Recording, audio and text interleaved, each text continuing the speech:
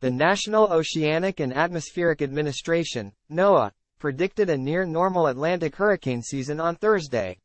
In its outlook, NOAA is forecasting a range of 12 to 17 total named storms.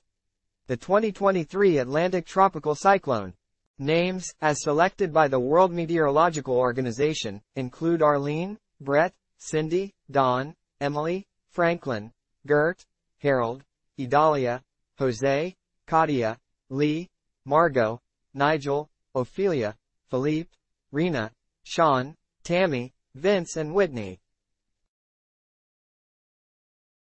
Of those, 5 to 9 could become hurricanes, and 1 to 4 of those could become major hurricanes.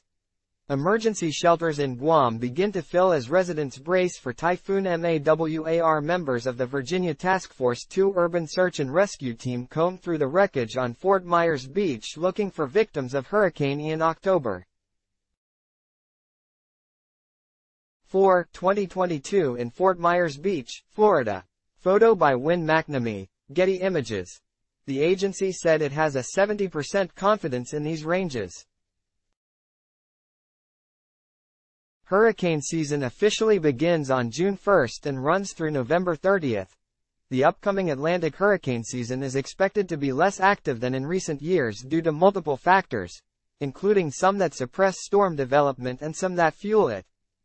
FEMA Administrator Deanne Criswell speaks at a press briefing at the White House in Washington, Friday, January 14, 2022. AP photo, Andrew Harnik, North Carolina researchers make predictions for 2023 hurricane season after three hurricane seasons with La Nina present. Scientists predict a high potential for El Nino to develop this summer. That can suppress Atlantic hurricane activity.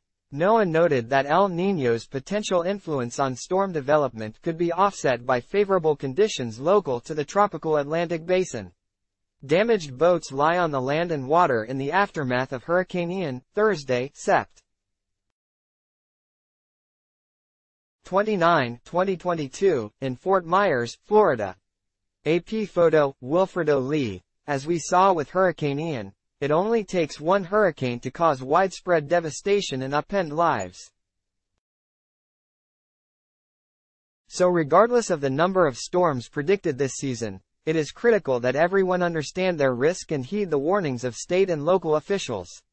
Whether you live on the coast or further inland, Hurricanes can cause serious impacts to everybody in their path, FEMA Administrator Deanne Criswell said in a statement.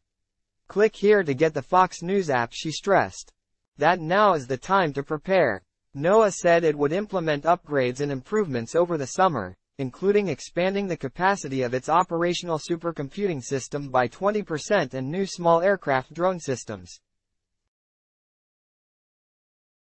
Julia Musto is a reporter for Fox News and Fox Business Digital.